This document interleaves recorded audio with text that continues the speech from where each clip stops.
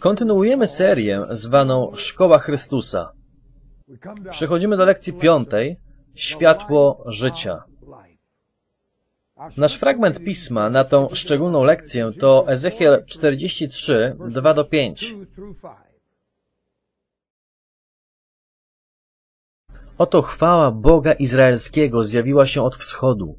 Szum Jego przyjścia był podobny do szumu wielu wód, a ziemia jaśniała od Jego chwały. A widzenie, które miałem, było podobne do owego widzenia, które miałem wówczas, gdy przybył, aby zniszczyć miasto, i podobne do owego widzenia, które miałem nad rzeką Kebar.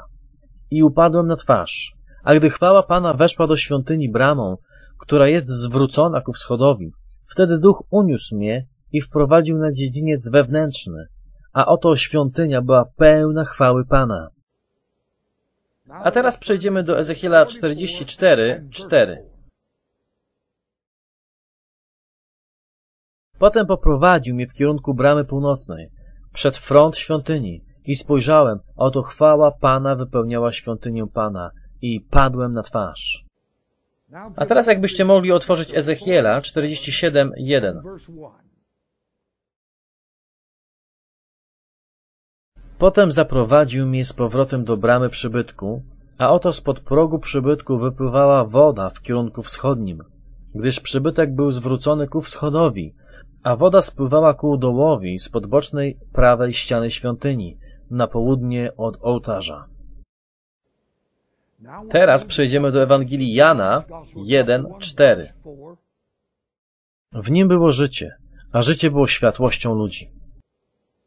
I też Jana 8:12. A Jezus znowu przemówił do nich tymi słowy: Ja jestem światłością świata. Kto idzie za mną, nie będzie chodził w ciemności, ale będzie miał światłość żywota. A teraz cofając się, przeczytamy Jana 3:3. Odpowiadając, Jezus rzekł mu: Zaprawdę, zaprawdę powiadam ci, jeśli się kto nie narodzi na nowo, nie może ujrzeć Królestwa Bożego. Przeczytajmy także Jana 9:5. Póki jestem na świecie, jestem światłością świata. Jan 7, 20 do 24. Lud odpowiedział: Demona masz. Kto chce cię zabić? Odpowiadając Jezus, rzekł im: Jednego dzieła dokonałem, a wszyscy się dziwicie. Wszak Mojżesz dał wam obrzeskę, nie iżby ona pochodziła od Mojżesza, lecz od przodków. I w sabat obrzezujecie człowieka. Jeżeli człowiek w sabat przyjmuje obrzeskę, aby nie był naruszony zakon Mojżesza, to dlaczego się na mnie gniewacie, że w sabat uzdrowiłem całego człowieka? Nie sądźcie z pozoru, ale sądźcie sprawiedliwie. I kontynuując w tym samym rozdziale, wiersz 46. Słudzy odpowiedzieli, nigdy jeszcze człowiek tak nie przemawiał, jak ten człowiek mówi, w których Bóg świata tego zaślepił umysły niewierzących, aby im nie świeciło światło Ewangelii o chwale Chrystusa, który jest obrazem Boga.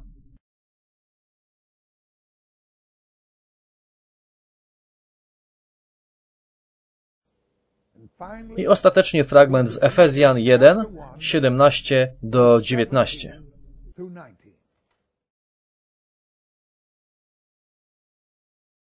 Aby Bóg Pana naszego Jezusa Chrystusa, Ojciec chwały, dał wam ducha mądrości i objawienia ku poznaniu Jego i oświecił oczy serca waszego, abyście wiedzieli, jaka jest nadzieja, do której was powołał i jakie bogactwo chwały jest udziałem świętych w dziedzictwie Jego i jak nadzwyczajna jest wielkość mocy Jego wobec nas, którzy wierzymy dzięki działaniu przemożnej siły Jego.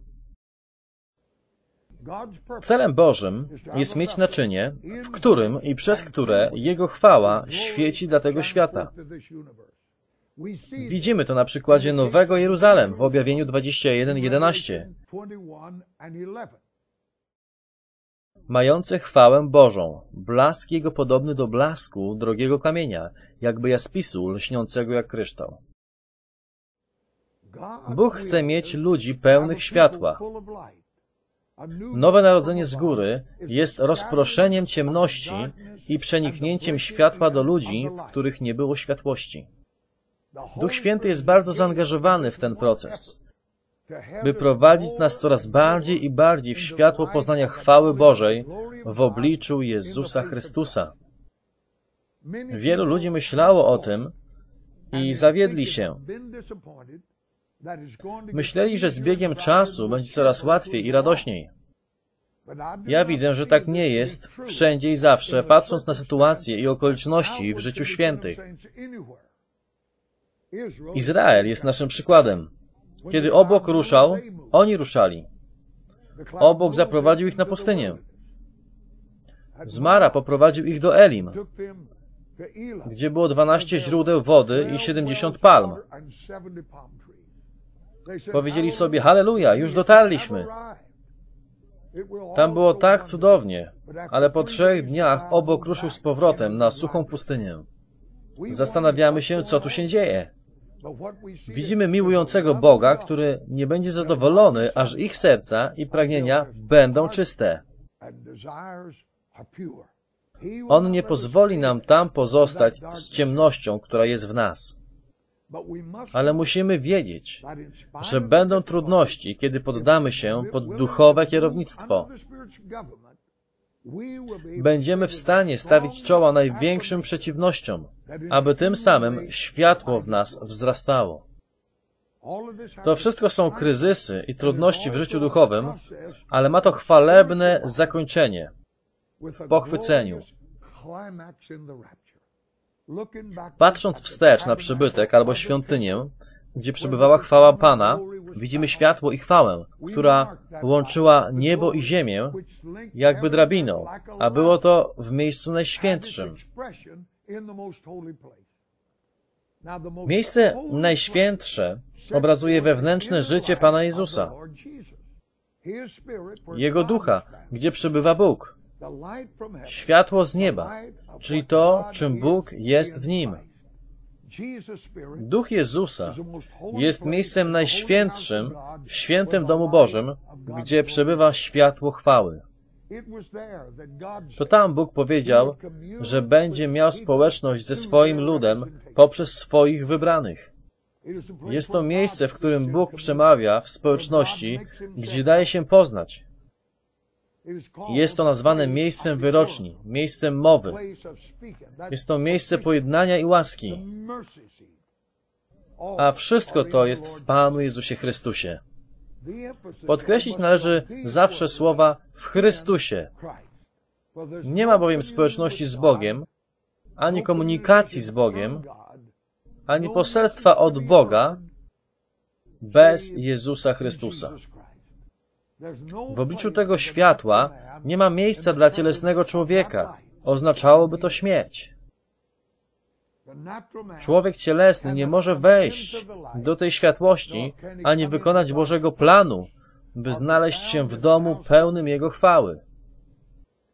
Kiedy mówimy o człowieku cielesnym, nie odnosi się to tylko do człowieka niezbawionego, który nigdy nie przyszedł do Pana Jezusa Chrystusa. Apostoł Paweł musiał o tym pisać do zboru w Koryncie.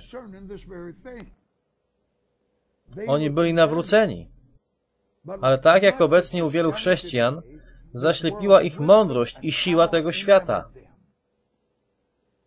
Oni wprowadzili człowieka cielesnego do rzeczy duchowych. Apostoł Paweł pisał do nich ich własnym językiem, mówiąc, ale człowiek zmysłowy nie przyjmuje tych rzeczy, które są z Ducha Bożego i nie może ich nawet poznać. Najnowszą dziedziną nauki jest psychologia, nauka o duszy. Psychologia zajmuje się umysłem człowieka.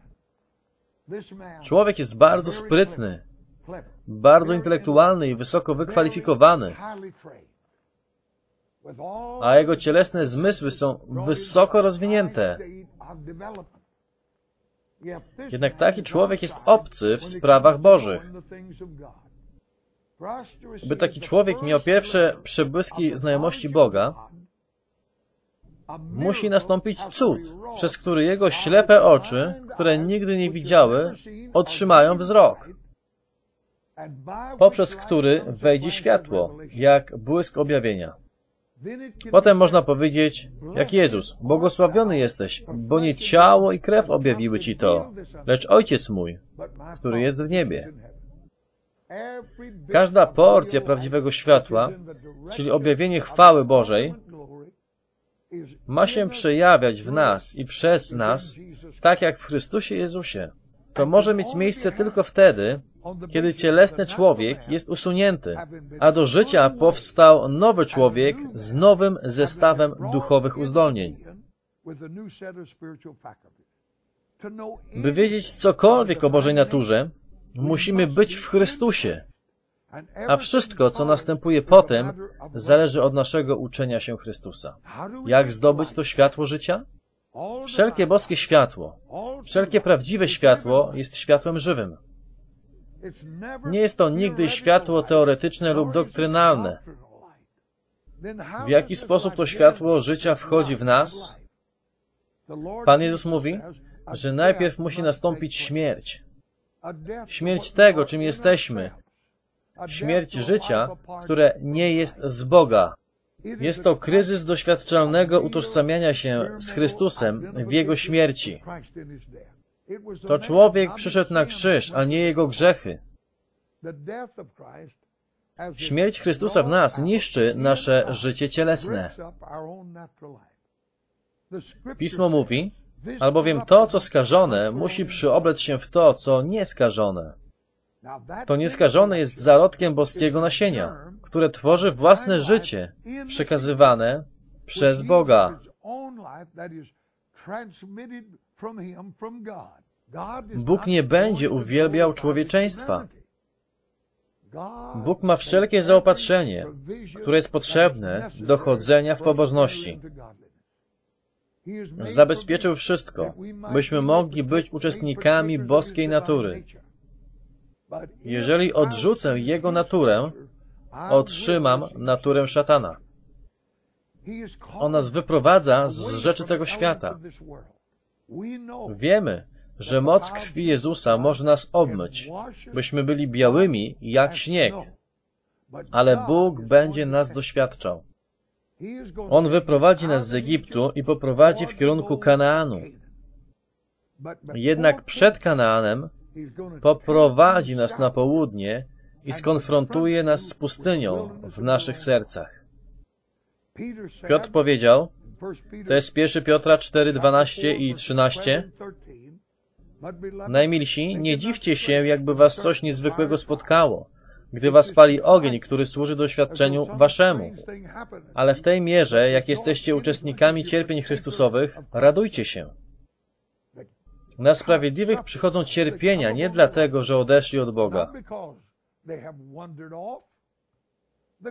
Na to miejsce zaprowadził ich obłok, czyli Duch Święty, by Bóg mógł skonfrontować ich z tym, co mogłoby ich oddzielić od Jezusa Chrystusa. On zajmuje się tym, co wynieśliśmy z Egiptu, naszą cielesnością. Przy wejściu do nieba jest krzyż. Ten krzyż mówi, że wszystko, co nie jest z Chrystusa, nie może wejść do nieba. Słowo wiara jest ekwiwalentem słowa pewność lub substancja. Hebrajczyków 11.1 mówi, a wiara jest pewnością, substancją. Jezus więc jest substancją dla wiary. Wiara jest przeświadczeniem, a nie przypuszczeniem, że Jezus jest światłością. Kiedy Bóg doprowadza cię do podjęcia kroku wiary, będziesz miał wszelkiego rodzaju przeświadczenia i wsparcia. On prowadzi tą drogą światłości. Kto wśród was boi się Pana? Bojaźń pańska, według przypowieści 8.13, to znaczy nienawidzieć zła. Słowo Boże jest skarbem. Ono jest mądrością i ustawia priorytety naszego życia oraz nasze uczucia. Ono nie pozostawia nam opcji do wyboru. Studiuj Słowo, szukaj definicji, Bożych definicji. Wy, którzy boicie się Pana. Co to znaczy bać się Pana? To znaczy nienawidzić zła. Nienawidzić butnego spojrzenia, dumnego postępowania, to nienawidzić tego, czego nienawidzi Bóg, a kochać to, co kocha Bóg. Bóg chce mieć ludzi wypróbowanych. A jeżeli chcesz czegoś poza Jezusem, to możesz być pewien, że Bóg ci tego nie da. Nasze motywy względem Jego prowadzenia będą doświadczane. Nasze nastawienie, które wynieśliśmy z Egiptu, będzie zmieniane, aż będzie pewne, że nie chcemy nic poza Bogiem. Czasami chodzimy w ciemności. Ta ciemność to doświadczenia i próby. W tych doświadczeniach przyjdzie też diabeł. Będzie mówił, gdybyś był wierzący, to nie miałbyś tego problemu. Nigdy nie pozwól, żeby diabeł uczył cię Biblii. Słowo Boże mówi, że Bóg będzie doświadczał tych, którzy boją się Boga. Krzyż przygotuje drogę dla Jego ludu. W wytrwałości Chrystusowej, z miłości do Chrystusa. Nigdy nie poznasz i nie zobaczysz tego w oderwaniu od krzyża Chrystusa. Krzyż musi oczyścić grunt z życia cielesnego. Gdyby Pan zdjął ten ciężar, który symbolizuje nam krzyż każdego dnia, nie skończyłoby się to dobrze. Modlimy się, by te rzeczy zostały usunięte. Ale gdyby Bóg je usunął, nastąpiłaby tragedia. Jego życie Chrystusa jest tym, czego potrzebujemy, a to życie jest światłością. Światłość przychodzi z Jego życiem. Nie ma innego prawdziwie boskiego światła oprócz tego, które pochodzi z Jego życia. Jego śmierć powoduje w nas to, co przygotowuje drogę dla Jego życia. Miara światła i miara chwały będzie miarą Chrystusa. A miara Chrystusa będzie zależna całkowicie od przestrzeni, jaką Pan znajdzie dla siebie w Was i we mnie. Dlatego musimy codziennie brać ten krzyż. Innej odpowiedzi nie ma. Jedynie w codziennym życiu, doświadczeniach, próbach i utrapieniach jesteśmy naprawdę konfrontowani z tym, co nie jest z Chrystusa. Serce jest zwodnicze, któż je zrozumie? Tylko Bóg. Jedynym sposobem, w jaki Bóg może wyjawić tą zwodniczość dla Was i dla mnie, jest przeprowadzenie nas przez próby. Powstaje zatem pytanie, dlaczego bogobojni ludzie cierpią?